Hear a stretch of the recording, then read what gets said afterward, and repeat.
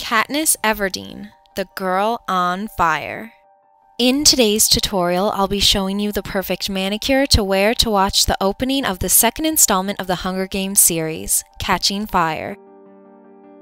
This nail art design has been inspired by Katniss's bow, the arrow on the Mockingjay pin, and of course the flames, all while keeping the book cover's color scheme.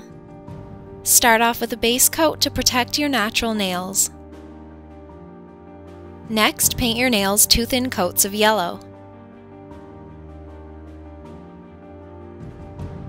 Use a black striper to paint a half circle near your cuticle. Then draw a vertical line splitting it in half. Paint a tiny triangle at the tip of the line. You may find it easier to use a toothpick to do this. Use whatever tools work best for you. Using an orange striper, paint many thin lines on the tip of your nail. Only dip the brush into the polish once or twice because you want it to be slightly faded and wispy to look like real flames.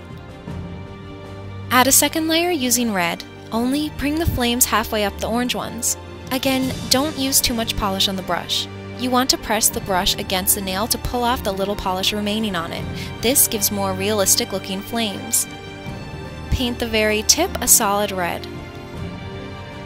Once everything has dried, add a top coat to seal in your design, add a beautiful shine, and also blend the flames together even more.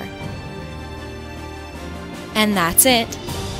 Don't forget to show me your recreations using the hashtag CutePolish. Take care, may the odds be ever in your favor, and I'll see you next time!